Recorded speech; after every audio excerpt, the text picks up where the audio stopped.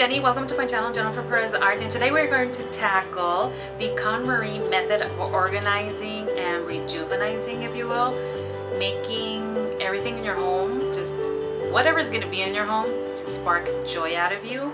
And we are going to throw in there some of my way of doing things. This is my home. I have my own way of doing things. I have a slight degree of OCD so I need my things in a certain order. So we are going to tackle this big boy right over here, this big chest. This is the only place where I store clothes in the drawers. The rest are stored in the closet and we will do my closet some other day but we are going to tackle bras, panties, pantyhose, chemises, lingerie, swimsuits, bikini, shorts, tank tops, and pajamas. The main focus is to have things stay with you that spark joy out of you. Dress up for your occasion. I'm wearing my lovely dress my hubby got for me. And put some jewelry on, some nice jewelry that makes you feel joyful. And I also like to play some music.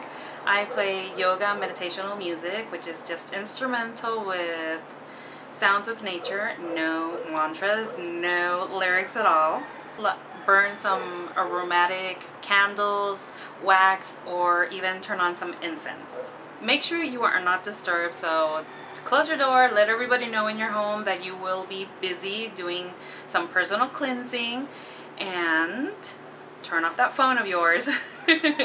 Don't get distracted and that way you can concentrate on working with your own pile. Now, many people just gather all of their clothes in one spot and just put them on the floor, take them out of their lovely little homes, closet, or drawers, and they go through the piles. You're going to get rid of dingy stuff, broken, ripped stuff, anything that does not spark joy. Now I am creative and I'm an artist so I do have pieces that will have paint on them and I need to keep them because that those are my go-to pieces of wardrobe that I always tend to use when I'm painting or cleaning up the house.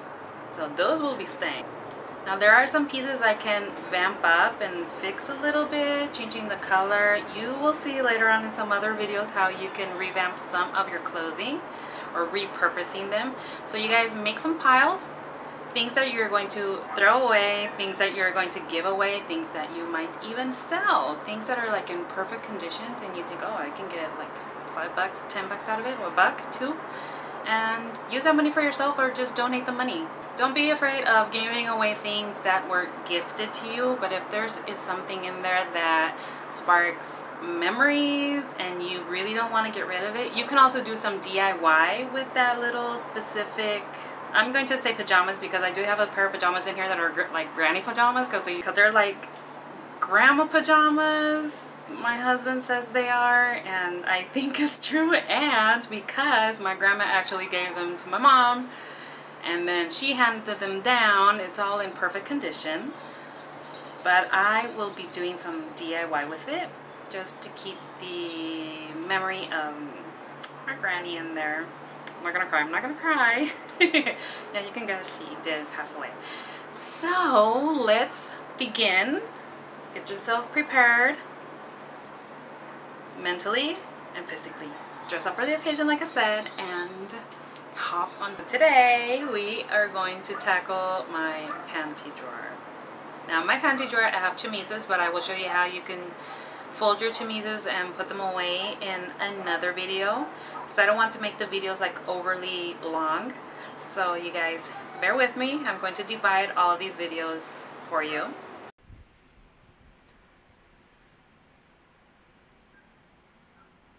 So let's begin. This is the before organizing the KonMari My Zenful method. As you can see, I have them nice and neat in little bunches and they're all stacked in different um, attire, no? So let's go ahead and remove everything out of the drawer. I'm going to place everything on my bed so I can see what I have. I'm not going to make a mess. I'm I don't like to see messes. I'd rather have them in their bunches. As you can see, I got my panties, my bras, my socks, some more panties, and my chemises in the background. Here's a little bunch of panties that need to be folded. I've never folded them up, but I'm going to do them today.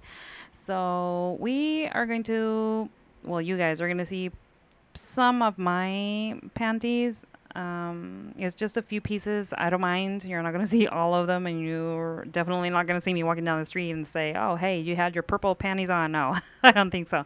I'm just showing you the way I had folded previously my undies when I have them in stacks and just fairly easy. This is the way I always have them. I do not like to have messy drawers, house nor closets. So what I do is I my G-strings I put them face down, fold over the top sides, and then we are going to fold over in thirds, but right over, as you can see, we're going to roll that right over the panty. And we are going to tuck it in that first little part of the panties. Just tuck it right in there. Don't make a bunch. And there you have it. Now, it's not gonna this panty is like really thin and it will not stand on its own. So you need to have like a couple more to have them stack up.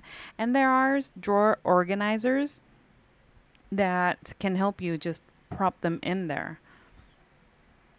Now I'm going to show you these different other ways that you can fold other types of G-strings. They're all other types, but first of all, let's start with the garter belt. I'm just going to show you guys how to do it on this one. We're not going to go into my other um, fun wardrobe, if you will. So I'm going to go ahead and clasp or close the little edges. And I'm just going to place them right over the garter belt. Whatever straps you have, because there are some other garter belts that have them hanging on other sides also, just put them right over the lace or the material of your garter belt. Fold over the sides on both sides. Meet them right at the middle. You can overlap, it doesn't matter. And then carefully, because the straps might come out, just do it carefully, ladies. And just fold it over once and twice and there you have it. Now this is mainly out of lace. It's not going to prop up unless you have some small organizers. You can leave them just laying side by side. You decide how you want to put them in your drawer. Now let's move on to the tiniest thongs that are out there. I put them face down and i have the straps come in right in the middle and then I fold the sides at the top, fold it right over, almost making a burrito. And then we are going to tuck it in only on the first little layer you see of the panty. And there you have it. Little tiny, tiny panties. If you were, were going to travel, you should do this in your luggage also. It will save you a ton of space. Now let's move on with these thongs. They're really lacy up on the sides and on the back. Sometimes we don't know how to fold them. We just bunch them up and throw them in the drawer. So my way will be just tucking in the sides, the ribbons or elastic, whatever the material is that you have. Fold it right in both sides. Fold a little on each end at the top just to give it security. Make it a lot more secure. Flip it right over, ladies. Let's do that semi burrito and tuck it in. You need to tuck it in right under the first layer of the panty that you see because if you do it on both, then it might open up. So just do it only on the one end. Now here's some other example ones. There are some bikinis that are out there that are like this, even if it's a lot more wider on the back. It's the same procedure. Just tie the knot, a slight knot right at the edge. Don't do any bows because you're going to make extra, make your panties puff up a little extra.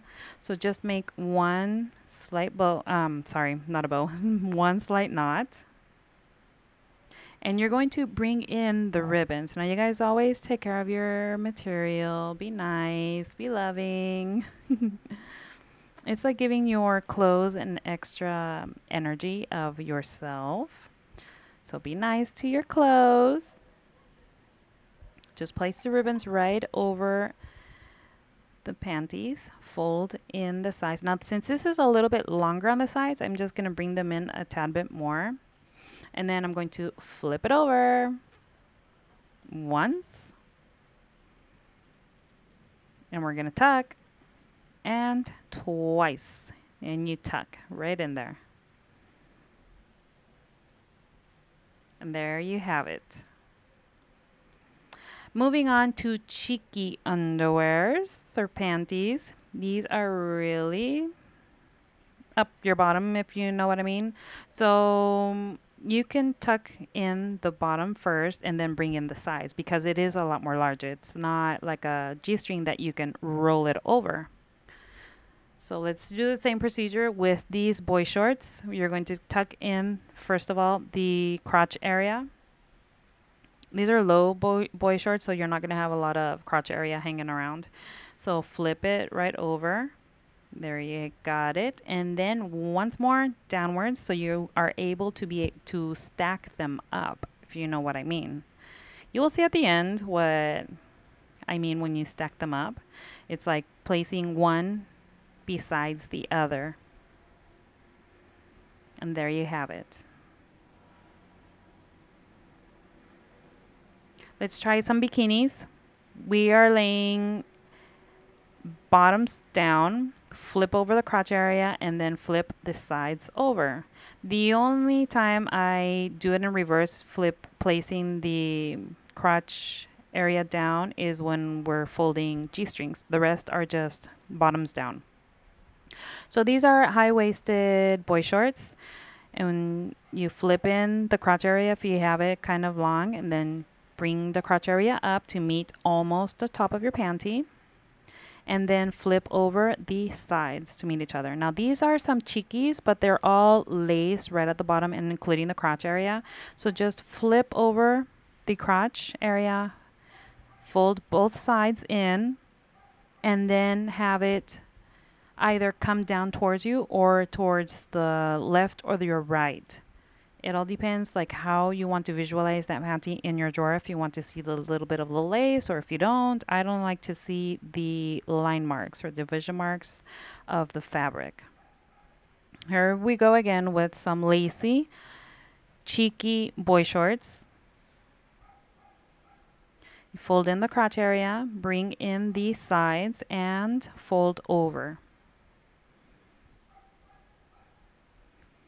Let's show you how to do some other types or form of bikinis. Bring in the crotch area, side, bring in the side, and fold over. Same thing with these panties. You fold towards you or you fold towards the side. Depends how you want to see them. One more time, ladies. Bottoms down. Fold the crotch. Fold one side. Fold the next. And fold towards you this is like really easy. Once you get a hang of the, hang of it, you'll be doing this in no time. Now let me show you. These don't fit me anymore; they're too big. But let me show you how you can fit, how you can fold bigger panties. You fold them the same way, but it's gonna make your bunches a little bit wider. So if you don't want them, you want them reduced, just flip and fold the very edges, and then bring them in on both sides. So that way the bunch will be way smaller and then just fold it over.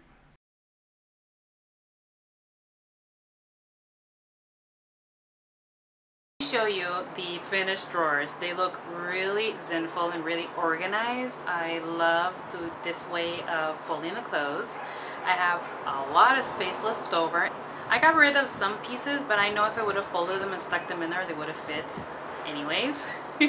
but the outcome is spectacular. Let me show you. As you can see, the drawer looks very zenful and organized. I have lots of space here. And I only have three rows of panties. Now I have my chemises way in the corner. I will show you how I did that in another video. But as you can see, they are all in category and I have them divided. And I am able to see each one. Now when you're organizing and folding your clothes, try, try, I didn't do it because it does not work for me. It will look visually pleasing for me, but with my OCD kicking in, it won't work. So I need, wait, wait, wait, wait. Before I tell you what I need, how it needs to look, I need to tell you what will be eye-pleasing and very zenful, if you know what I mean. The harmony of your colors, if you have them from lightest to darkest, that will look so, so pretty. but I can't do that. In my categories, I have, even if it's in my bra area or my panties or my shorts, let's go with my panties for an example. I have a ton of G-strings. I have have various like bikinis, boy shorts, and panties that are like panties that are more for those days that you feel like you're bloated um, before you get your period. So I do have a section for my period on these two. So I have like what I need like right there where where I know it is, where I placed it, I just go straight to it. I'm not going to be digging, oh, the color, which one, which one, which one, where are you, where are you? No, that does not work for me. So what I did was I put all my thongs in one area, and then from my thongs, I did put them category, and either the, the categories, they skip to the colors. So I'll have like pinks, and then my blues, and then I'll have like blacks with, with uh, fuchsia, and etc. So same thing with my bras. My bras, I have my strapless bras together, and then my, and then for example, as my in my with my chemises, I have them by color, but also I have chemises that are like the dressy kind, and then the short, and then the very long gown. That's like the only long gown that I have, but it's slit all the way up to the inner thigh. That looks so spectacular. I love love, love that chemise, that nightgown. And um, and then I have I have like two pairs that are like really short boy shorts with a little chemise top, uh, crop top. So those are together. And from then on, it's just different um, other sexy lingerie that I got. And I just try to put them together accordingly to the similar style and then in their colors and the way that I use them. Let me know in the comments below if you will be joining me in the bandwagon doing the KonMari method and throwing in some of the my Zenful method in there too. I would love to hear how it goes and if you have any questions or suggestions let me know in the comments below also.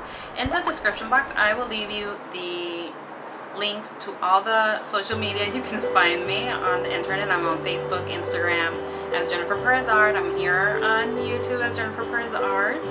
On Snapchat and Twitter, I'm on as Jennifer Perez JP. So please don't forget to subscribe so you can get some other related videos and also home decorating. We're going to be doing DIYs around my home and artwork, creative crafting, DIYs, everything healthy and food related, and wellness, and some lifestyle of things I do during the day, where I go, what I do, things like that. So you guys subscribe to my channel here on YouTube at Jennifer Perez Art, and I will see you soon. Take care and have a wonderful day. Ciao!